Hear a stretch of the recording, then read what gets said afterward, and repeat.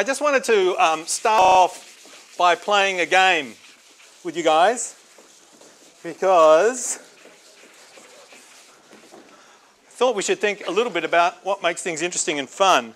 And as you all know, there's nothing more interesting and fun than noughts and crosses. So who wants to go one on one with me in a game of noughts and crosses? Yes, what's your name? What? Luke. Okay, Luke. Now, are you aware of the rules? Okay, I'm playing the normal uh, Russian variant. Do you want to go first? What's that? Okay.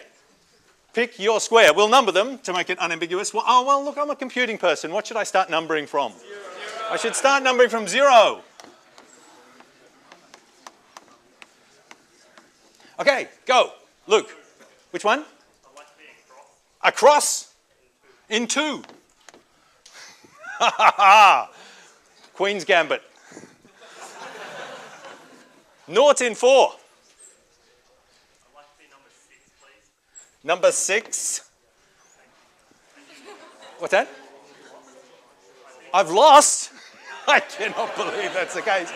You forget who has the piece of chalk, my friend. Um, I do seem to have lost now I think about it. What a stupid game Noughts and Crosses is.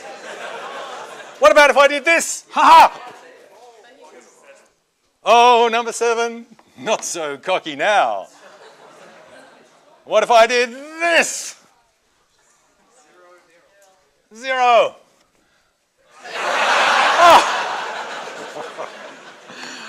You see what I did then? I mixed up where you were telling me to put it and what I had to put there. It's a very common mistake. Um, look, I think uh, I'll, I'll just go here and maybe we can call it a draw. I don't think we need to even make that last move. Unless you really want to. You do? Okay. You're not really trusting me, are you? All right, that's Noughts and Crosses. Now, who thinks that's the most awesome? Thank you, Luke, by the way. You know, the weird thing was, I had thought, I thought you'd actually won then too when I looked at that, because I had like childhood kindergarten memories of playing this game and thought, that's not a good pattern, but whew, it was okay. Um, luckily, I didn't give up. Luckily, I persevered. So, who thinks Noughts and Crosses is an awesome game? Oh, you guys are weird. It's a stupid game. It's so boring. I can't believe I was interested in it when I was young. All right, so we're not going to play any more of Noughts and Crosses. Instead, we're going to proceed with the lecture. All right, there's my laptop, a security update. Who would have thought? So we'll just ask later because you don't need to ever install those things. This is my laptop. It's displaying a web page. Who has seen this web page? Oh, well done. People that have been exploring. How did you find it? You Googled it. What did you, what words did you actually Google? Comp 1917, and it got this page, did it? Oh, that's right. That's awesome. Now you have, you don't have to, but you'll notice I have actually logged in. You guys, if I wasn't logged in, if I logged out, let's see what it would look like. It's actually going to take me to the wrong page when I log out. I'll have to come back here. It takes me to the UNSW Open Learning general site. I'm logged out. You're not yet logged in. Become a member. So if I wanted to register, say if I was you, I would click here and it will ask me some questions. The main thing is, what's my quest? so you would register by going, become a member. Yes, please. Type, make sure you, you can type your full name in here, Joseph Bell.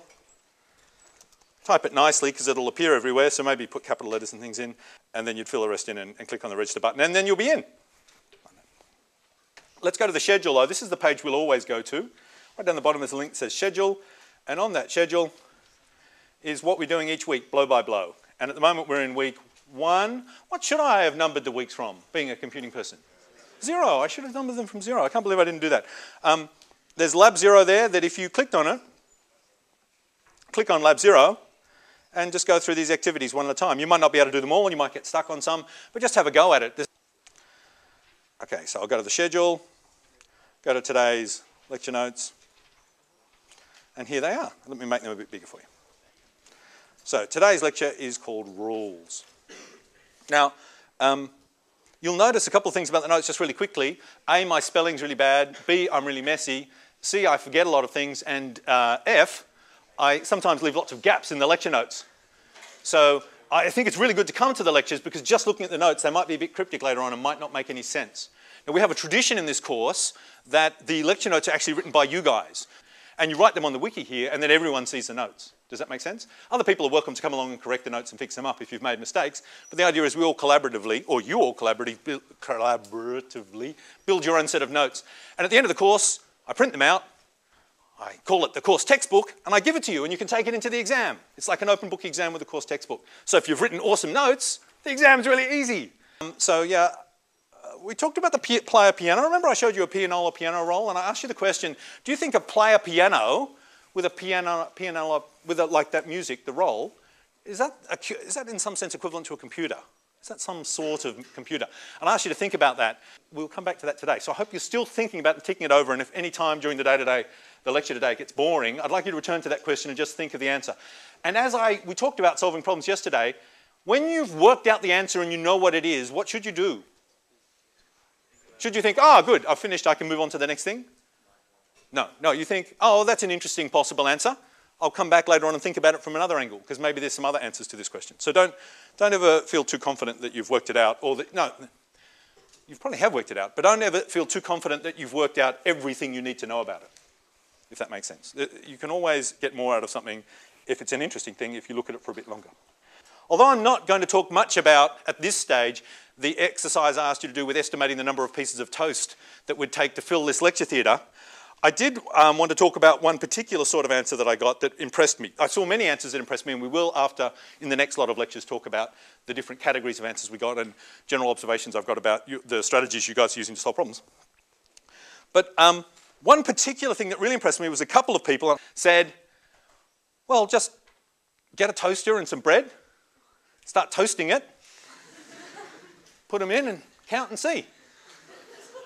Now, in some senses, yeah, in some senses that's a stupid answer, you know, because, yeah, it'll never, yeah.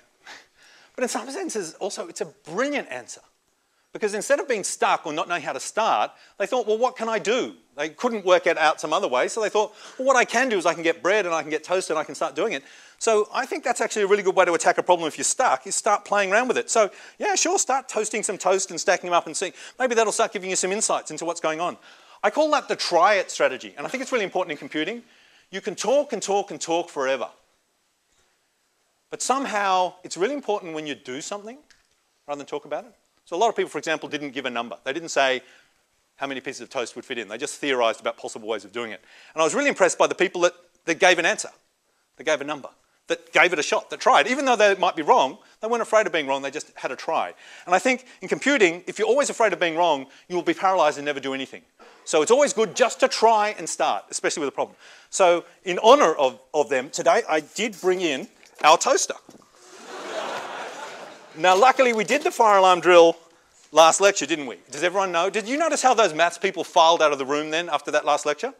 Were they hopeless or what? It took them like 10 minutes to get out. If there was a fire, I was tempted. so obviously they were going out and just like standing near the door and relaxing. And, and you guys probably weren't helping because I saw you making like a human wall so no one could get out of the theatre. And it's this friction effect. And we often notice that with cars and traffic. Have you ever noticed that? That after an accident, everyone slows down. But then when everyone starts to speed up again, it takes a really long time, even after the accident's cleared, before everyone's moving at good speed. It's just somehow everyone. In fact, uh, some friends of mine do traffic flow analysis, whoops, and they said they've worked out to get people through a tunnel, it's actually faster if you put a set of traffic lights in front of the tunnel for no reason at all. make it go red for a while, and then make it go green, and then everyone races through. And if you just leave it, everyone just slows down and does the, I call it the math student effect. So if there's a fire, can everyone just get away as fast as you can? Not thinking the fire alarm could go off, because who would be lunatic enough to cook toast in a lecture theatre? But you never know. So, so I brought some toast. Let's give it a go.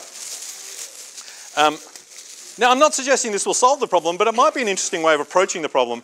And as I said yesterday, toast is so delicious that I don't know why you put bread in, you get toast out. Doesn't make any sense. It's fantastic. Life's good like that. There we go.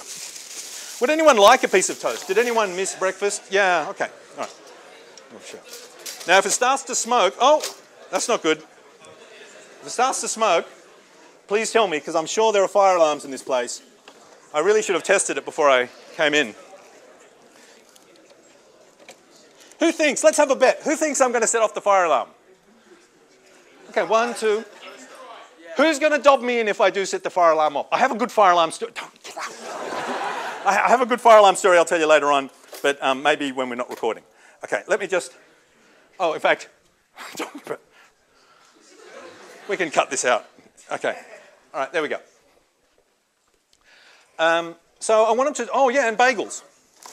Today's lecture is based on a bagel. It is on.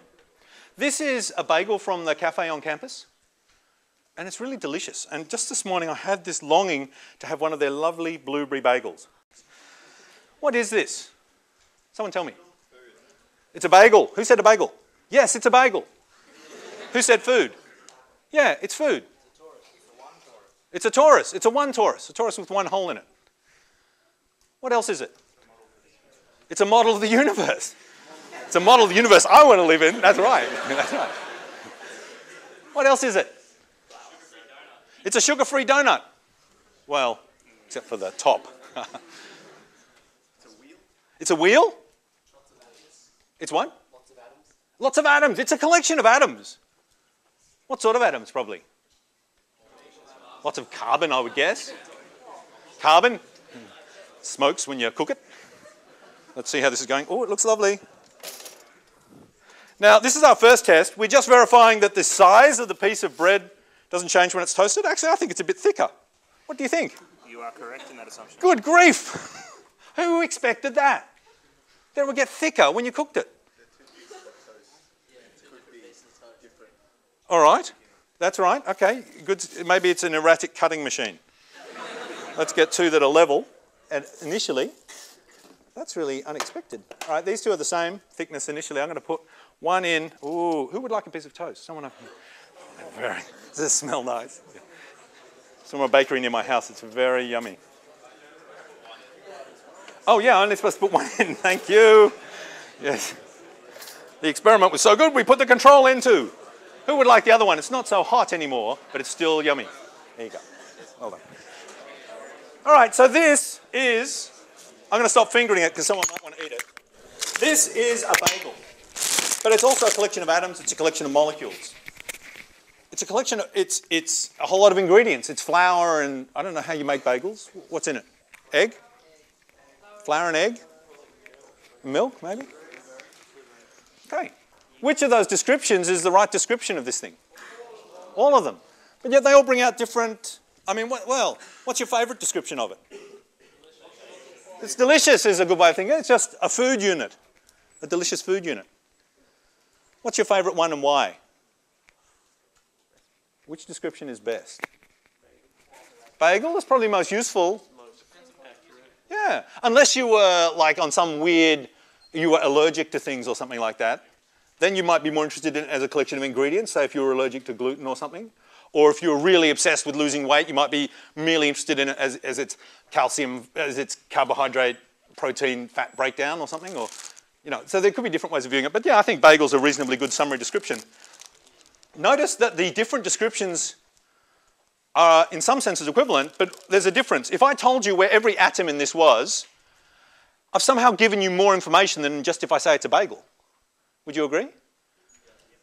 But in some sense, I've also somehow given you less information than if I'd said it was a bagel. Because I could give you a whole telephone book list of all the atoms. Oh, it'd be several telephone books. I wonder how many. I wonder if it'd fill the room. A lot of descriptions of where all the atoms were, and you might not realize that it was a delicious thing to eat. You just view it as a whole lot of atoms. So in some sense, as you move through these different levels of abstraction, as we called them, you have different views of the same thing. And there's different amounts of information available at every view, and each view is sort of motivated by being interested in different things. And I view abstracting something as really throwing away information about it. So I'm going to throw away, for example, I don't really care which carbon atom is at position number this. It could be this carbon atom or that carbon atom. And as far as I'm concerned, it would still taste the same. There's a whole lot of equivalent things that are sort of irrelevant that I could throw away and not make any difference. And probably if I'd taken the bagel next to it, I'd like it just as much as this bagel, even though they have no atoms in common at all in some sense, they'd almost be interchangeable in my mind if I was merely interested in bagels rather than that particular bagel. So the first description wouldn't be as useful as the second one. So just notice that there are lots of different descriptions at lots of different levels with lots of different, and each of them has a different amount of meaning, talks about different things.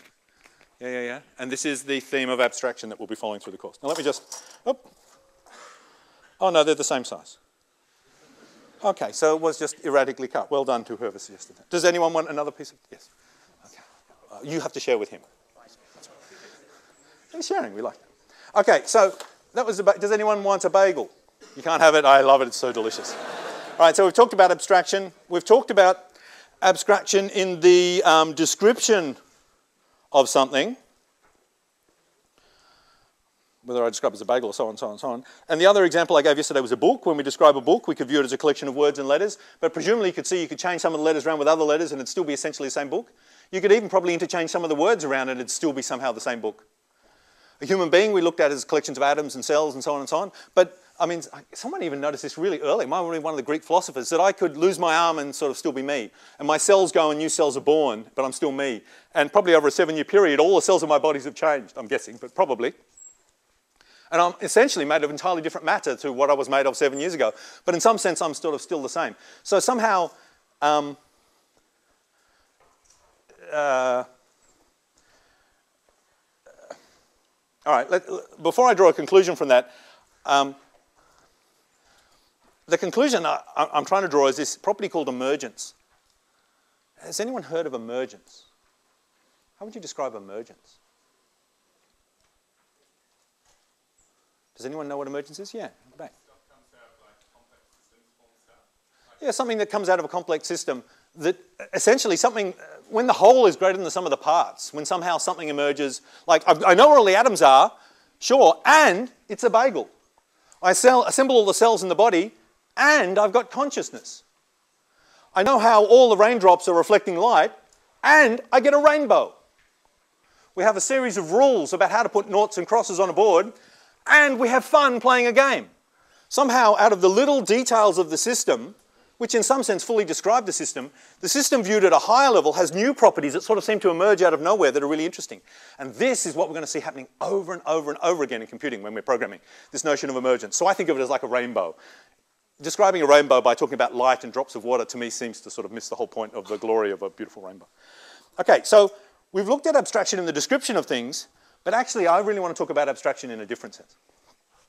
I want to talk about abstraction because knowing what that bagel was is of some interest, but of more interest is knowing how I could make one, how I can get more. I'm a fairly practical person. So the description of a bagel that would be most useful for me is how to make one. Now I'm going to draw it like this. A bagel takes in a whole lot of ingredients, and the cook does something to them. Cooks them. And out comes a bagel. Does that make sense? This is the sort of process. Now, I want you to notice that abstraction can live in two different places in this picture. First of all, the ingredients like the flour and the eggs, sugar. In some sense, this is sugar, but in another sense, it's uh, you know it's a molecule, an organic chemist. And another so there's different ways of viewing all these ingredients. We could abstract up and down, but probably the most useful level for a cook uh, as a human being is viewing them by their common sort of names that you'd buy them in the supermarket. But you, you still could describe eggs in lots of different ways, and you could. Uh, does everyone make sense? You can view up and down an abstraction on the ingredients going in, and this is like the ingredients of the process is like the data coming in. So we can have what we call data abstraction. This is where the, the stuff coming into something, you can view it in lots of different ways. And you choose the most useful way to view it. And they're all equivalent. None of them is right or wrong. It's just, it's useful to pick one way if you're carrying out a task. It helps you to talk about it as sugar rather than talking about it as or C-H-O, C-H-O-O-O-O-C or something. Well, it's like chocolate. Um, but the other level of abstraction is inside here.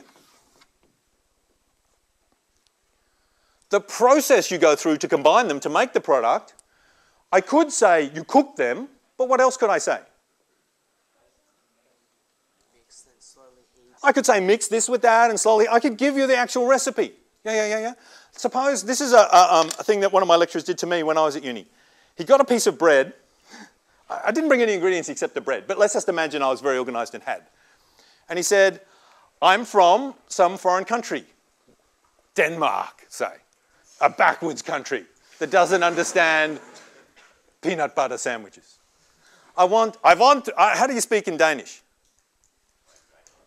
I don't want to insult anyone from Denmark, but it's a silly sounding accent, isn't it? Utgeflut. Um, where's all this anti Danishness coming from? It's crazy. Okay, so it's because they're warmongers, always in the UN, bringing about peace. Um, okay, so let's just move away from Danes because it gets me too angry. And so I'm down the front, I'm some Danish guy, Hortgeflorten, and I have to put, make a peanut butter sandwich, but I've never heard of it before. So I want you to give me the description of making a peanut butter sandwich. Now you could say to me, Richard, make a peanut butter sandwich. At one level of abstraction, that's exactly what you want me to do. But I'll go, oh, I don't understand, man. I'm Danish. So can you give me a better description? What do I do? Put peanut butter on two slices of bread. Okay, so here's what I do. I get the jar of peanut butter. I put it on one of the pieces of bread. And then I take it off and put it on the other one. Then I take it off and I put them together. And I've, that's why Danish, that's why they conquered the world. Okay, so that's what I've done, but I haven't done it. Somehow I've legitimately misinterpreted your instructions. So probably you need to go to a lower level of abstraction and give me more precise instructions. Can someone try and precisely tell me how to make a slice of bread? Yeah. Get two slices of bread. Yes. Take the first slice. Yes. Get your jar of peanut butter and Yes. a knife. Yes. Get approximately five to ten grams of peanut butter. Yes. Put it over the first piece of bread. Yes. Then put the second piece of bread on top of the first piece of bread. Well done. What's your name? Samuel Baxter. Well done, Samuel Baxter. Okay, here we go. Did everyone hear those instructions? First of all, take two pieces of bread. Take the first piece of bread. I like the way you did that, so it's really clear which piece it is. Uh, and I put it down there, and I had to open, get a jar of peanut butter and a knife. And now I have to put 10 grams of peanut butter on the knife. I can't get the peanut butter on the knife, man. Do you want to? I'm going to let you revise your instructions. Take the lid off by turning it. Oh, you're very good, because I was going to try and pull it off. All right, all right. I'm turning the lid, the whole jar's turning. It's not coming off. This is not made in IKEA. I've got no key. How can I open it up? Hold the bottom, turn the top. Okay, I take the lid off. All right, I'm, I'm being obnoxious. But can you see? I can literally misinterpret what you're saying. Then get a knife. I'm going to put 10, 5 to 10 grams of peanut butter on. That doesn't sound like very much, but I'm going to do that. Then I'm going to spread it evenly all over the first piece of bread. So I just go like this.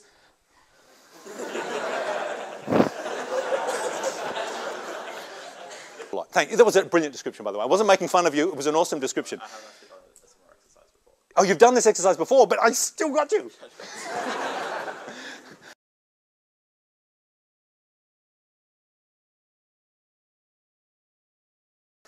Here's a set of rules. My rules are this.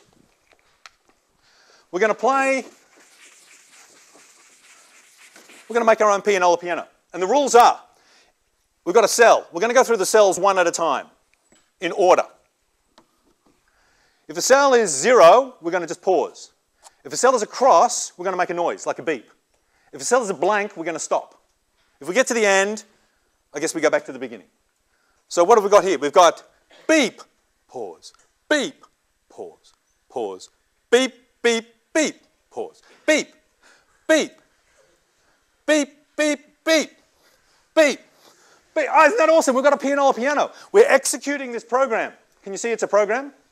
Every cell has three possible states. The rules of the system are the things that tell you how to interpret the program. So the rules here are very, very simple. The rules are, there's all these rules that you'd never think about, like take turns, one at a time, you know, read the value, increase and look at the next one. This sort of whole notion of sequentially moving through. There's all these implicit rules about that. And the interesting rules of the system are, if you see a zero, pause. If you see a cross, you beep. And if you see a blank, which I was hoping we were going to have, but you were too cunning to allow me to have one, I'm going to stop. Unfortunately, this song never stops. Um, does that make sense? Can you see how we've sort of made a pianola piano, we've sort of made a program, we've executed it. A program is just that. It's just a set of rules. A chip that executes the program itself is just a set of rules. So if I was running this chip, which I'm going to call my noughts and crosses chip, no, I'm going to call it the, the 4000 series. I've made a 4000 series chip. And what it does, and even Alexis gave me an old chip here. Where did he? One of the students who couldn't come in today knew I was hunting for a chip. Can everyone see? This is the chip here. I'll take, I'll just ground myself. It's based on the 8088. It's an AMD version of the 8088, really early microprocessor chip. Can you see it here? Just essentially a bit of epoxy with a whole lot of legs coming out. And the legs are wires, and they're attached to circuits inside. And all this chip does is essentially, the microprocessor, all it does is this. It loops through memory one at a time. It fetches an instruction from memory. And it's got a little program inside it that loops through memory and fetches instructions one at a time. And that program's very, very simple. And it knows if it gets to the end of memory to jump back to the beginning and do it again. It loops through memory, fetching instructions one at a time. Then it looks up for each instruction what to do. And there's a very simple task it does for every instruction. And that is a program. Okay, now, that's not a very interesting chip. So let's look at a more interesting... Oh, I had an Eccles's tune. I'll play Eccles's tune later on. Okay, because I want to show you... Uh, that's the 4000 chip. 4000 series microprocessor. Can you see? Blank is hold, X is beep, zero is pause. And I haven't put in all the little details. It's actually got two registers called an IP and an IS that I didn't bother to explain. The IP is the instruction pointer, and that just stores the number of what we're up to. So initially it has zero, and then after I've ex executed the first instruction, the zero instruction, this number increases to one and that tells me to look at the next instruction. And then that number increases to 2, and that tells me to look at the next instruction. And, this, and the microprocessor just slowly increases this numbers one at a time as it fetches the instruction.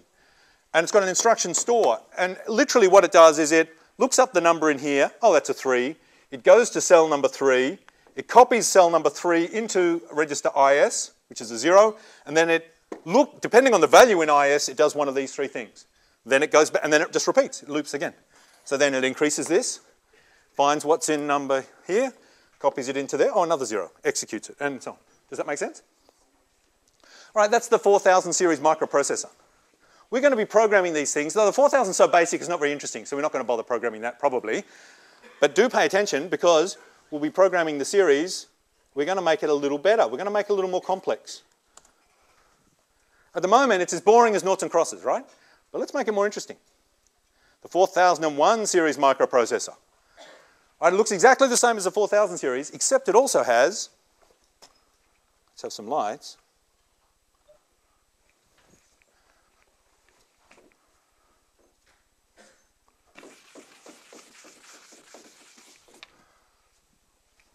It has more memory. 9 wasn't enough. It has 16.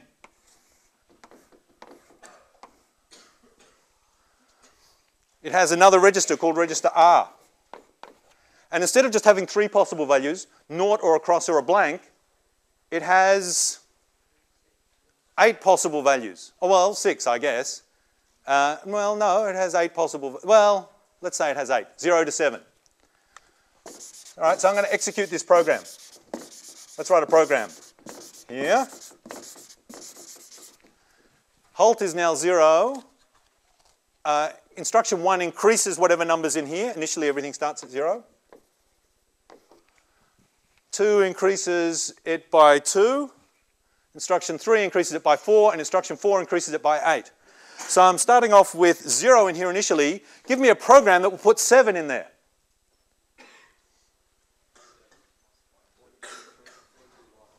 One, two, three. Will that do it? One, two, three. Yes? Zero. Oh, well, I need to print it out. Seven. Seven. And then I'd better halt. And we actually say, if you don't tell me cells, I'll just assume they're all filled with zero. So I'm prepared to call this a one, two, three, four byte program to, to produce the number seven. Oh, and it's got a seven at the end. Is that a very interesting computer? No. If I was to ask you to print seven, is there another program, by the way, that would print seven? Yeah, how would that go? Seven ones? Or what about a one, two, two, seven, zero? Is that going to do it? Okay, there's a couple of different programs that have the same effect. Okay, that's the 4001 series microprocessor. It never really took off. I don't know why. So let's look at the 4002 series microprocessor. Oh, it's got less instructions, but actually it's a bit more interesting. Uh, because it lets you increase and it lets you decrease. And we're going to say that we've got the numbers now from, one, from 0 to 15. So without me telling you all the little side rules, see if you can guess them, how am I going to quickly generate the number 1?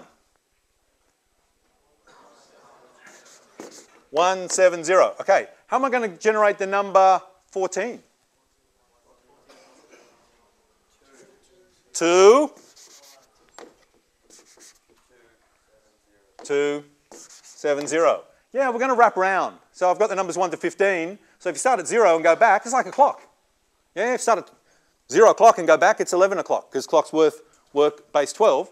Well, we're working base 16. So if you start at 0 and go back, you get to 15. So let's go back twice. Okay, this program's more interesting because we get a bit more arithmetic, but still not a very interesting microprocessor. Again, this one flopped.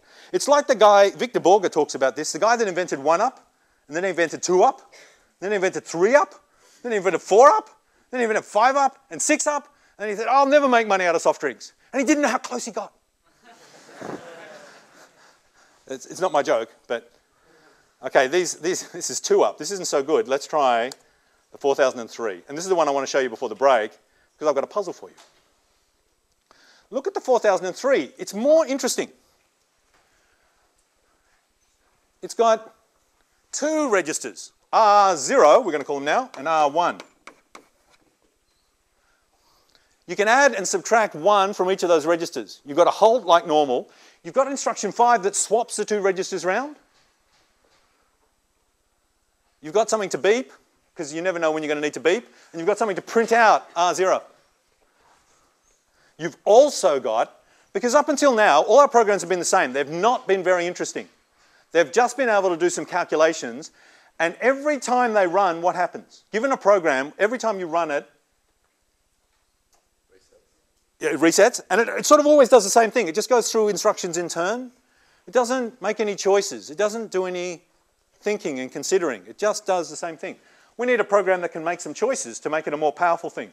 And now we're making our rules a bit more complex and having slightly more rules. Very, very soon, in fact, actually now, as soon as I give you this next instruction, we're going to have this emergence thing happening.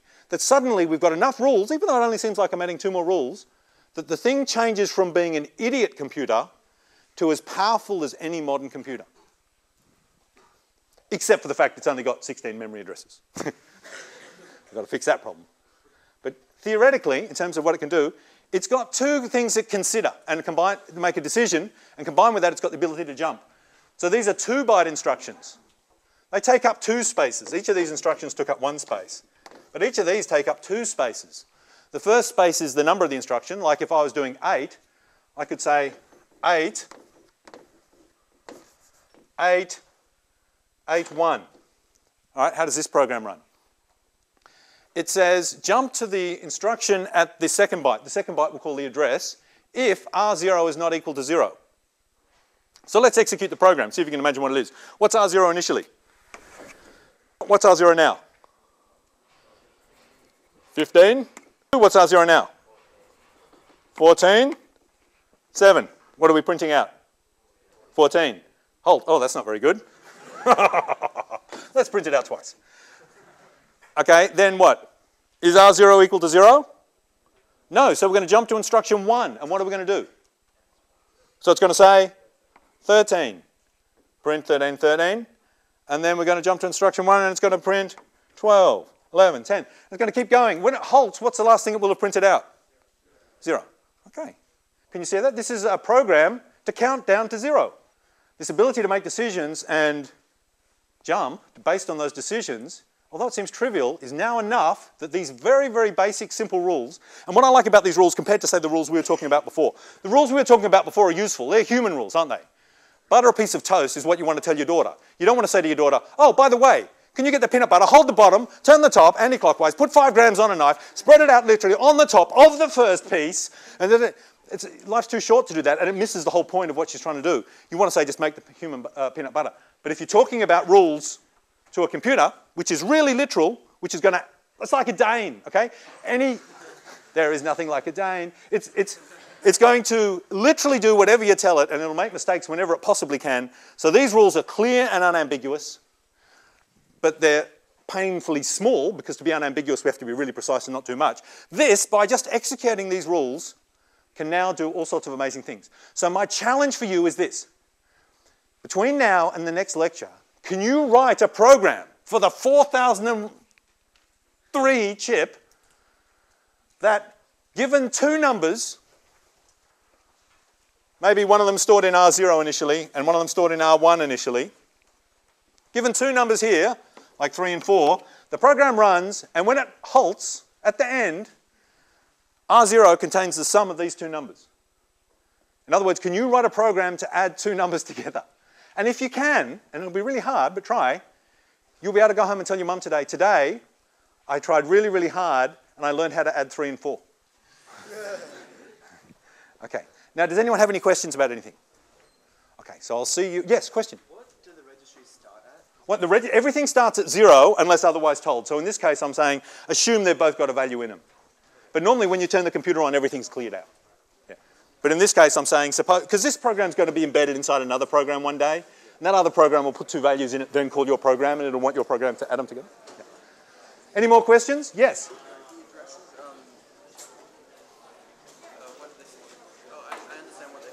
Yes. How do you know which address to go with? Oh, how do you know which address to jump to? It's the second byte.